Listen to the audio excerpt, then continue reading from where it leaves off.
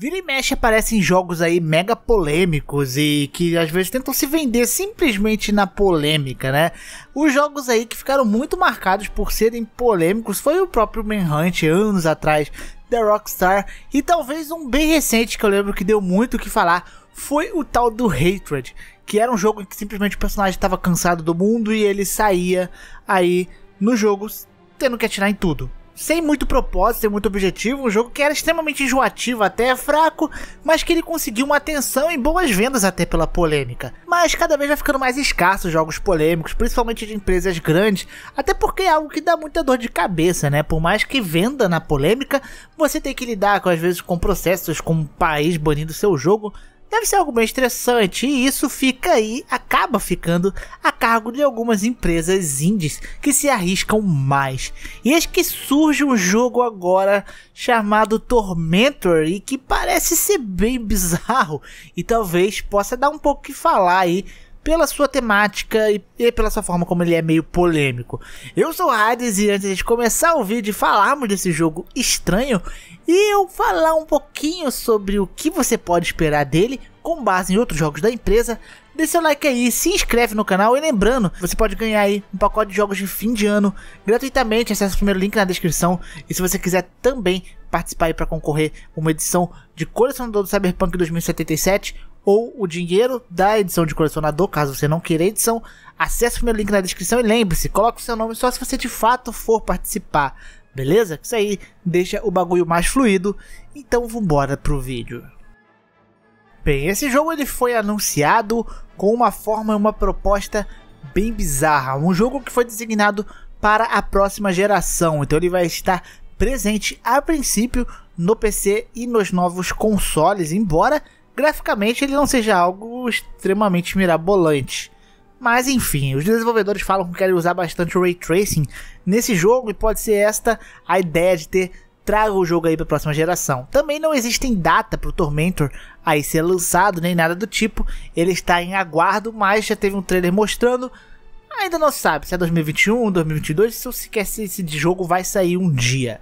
Mas, enfim, no jogo aqui, a proposta dele é diferente. Você vai controlar um personagem bizonho aí que tem sérios problemas mentais, problemas esses que ele vai perdendo a sua memória, vai perdendo a sua sanidade, como se já ele não fosse muito Tipo, ele não é um cara muito são, né? Porque esse personagem, ele simplesmente sequestra vítimas e aí você consegue torturar essas vítimas com uma infinidade ali de apetrechos maravilhosos que o jogo vai te dar.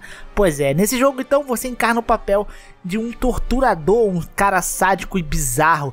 E ele faz tudo isso aí na internet. Então, na verdade, existe um grupo por trás que meio que patrocina para ele alguns remédios, esses remédios que conseguem manter ele meio que são entre aspas, né, sem perder ali, se perder para sua própria doença.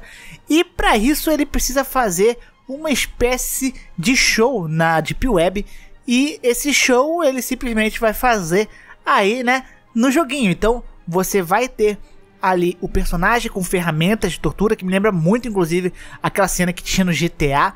E aqui vai ter pessoas ali que provavelmente não, não se tem ainda informação se isso é online realmente, mas as pessoas que ficam digitando ali falando para você fazer formas mais criativas e tal. Assim você ganha mais doações, é como se fosse uma live de horror, tá ligado? E aí você ganha mais doações por isso.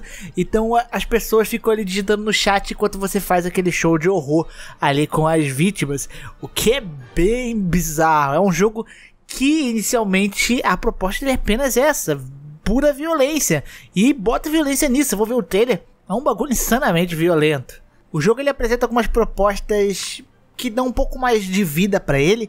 Talvez porque, por exemplo, você pode customizar diz ele que vai ter uma boa customização, as suas próprias vítimas. Então você pega e customiza com as pessoas que você vai aloprar ali. E também existe um modo em que você pode dar arma para essas vítimas e elas podem te caçar em sede de vingança mesmo. Tipo, elas se soltam e conseguem te caçar.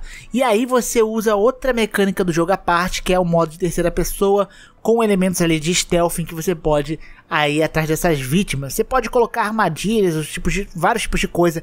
Então é um jogo que ele mescla um pouquinho esse quesito de talvez meio que tipo um Tower Defense, eu poderia dizer que as pessoas vão te caçar, né, as vítimas, e você pode colocar armadilhas pelo local para atrapalhar essas pessoas. E ao mesmo tempo ele tem essa mecânica aí de você pegar e torturar suas vítimas online, tendo que fazer isso da melhor forma possível para você conseguir bancar ali e manter os remédios bizarros, seja lá o que esse personagem louco da vida tome, velho. E essa aqui é a proposta do jogo, o que vai fazer ele ser bem polêmico, talvez. E eu falo isso porque a empresa que está desenvolvendo esse jogo é a mesma que desenvolveu o Agony. Só que é isso que eu queria falar aqui, porque o Agony ele vendeu muito em cima da promessa de ser um jogo bizarro, era um jogo que se passava no inferno, tinha muita bizarrice e na verdade toda a característica visual de Agony era legal, era interessante, mas o jogo em si ele era ruim, né? Era um jogo fraco, era um jogo que foi bem decepcionante, repetitivo demais. Depois você jogava umas horinhas já era enjoativo, não tinha muita diferença de cenário, inimigos, então você ficava enjoado muito rápido com o jogo. Não sei como que eles vão fazer para manter o ritmo desse jogo aqui, mas é da mesma empresa do Agony. Então, por trás que tem um jogo aí mega polêmico e tal, que vende polêmicas, a gente tem junto uma empresa que já fez isso antes. Já vendeu polêmicas, ela sabe fazer um, pelo menos ambientação aí tenebrosa nos poucos jogos que ela lançou mas em geral ela não conseguiu ainda fazer jogos muito bons, né? Infelizmente o Agony foi bem ruizinho, era bem bugado. E se você for ver o trailer de Tormento, você vai ver que até graficamente ele é meio glitado e os gráficos estão meio esquisitinho. Tudo bem que isso pode estar em alfa ainda, mas em geral, né, o jogo é esse aí. Né? E vamos ver como é que vai ser, quanto tempo vai levar. É, uma das críticas com esse jogo, além ali, nem muito pela polêmica, mas a maior crítica é que essa empresa está desenvolvendo outros jogos em paralelo. Então, tem o Sucubus que vai lançar, tem um outro deles que eu esqueci o nome que vai lançar também. E aí eles já anunciaram esse projeto, onde estão meio que Parece que estão cada vez criando projetos novos e é uma empresa mega pequena, sabe? E a galera tá falando, será que esse jogo realmente vai sair? Porque, né? É uma empresa aí que tá emplacando alguns projetos sem simplesmente realmente andar com eles ou terminar com eles. É, vai saber se esse jogo realmente vai sair ou não. Mas esse provavelmente vai ser um dos jogos mais polêmicos aí se ele vier a sair e se de fato ele for bom, né? Porque não adianta ele sair e ser um jogo esquecível que aí a polêmica dele não vai adiantar de nada. Mas é um jogo que provavelmente vai se vender em polêmica. Provavelmente pode ter problemas, inclusive para lançar nos consoles, porque os consoles, né? Ainda mais esse jogo que tem nudez, essas coisas. Nos consoles, isso é algo que tem que tomar muito cuidado, né? Não é que seja proibido, mas o próprio Agony deles porque teria um bagulho de nudez muito acima do comum, né? E eles não puderam colocar isso nos consoles, né? Então Talvez aqui possa ter alguns problemas também, mas eu acredito que eles conseguem lançar esse jogo no console. Mas por enquanto, enquanto é um jogo que parenta ser apenas bizarro e polêmico, ainda tem aquele meu pezinho atrás que será que eles vão conseguir manter um jogo com uma qualidade neste quesito, né, em cima de toda essa polêmica? Eu não sei. Só com o tempo a gente vendo algumas gameplays, ver como é que vai ser, mas esse jogo promete pelo menos balançar, sei lá, as pessoas mais sensíveis aí. E meus queridos, esse aqui é o vídeo. Eu espero que vocês tenham gostado. Se gostaram, não esqueça de deixar seu like, se inscrever no canal. Muito obrigado pela visualização. Um grande beijo, grande abraço. Fico por aqui. Um beijo no popô. É nóis. E fui.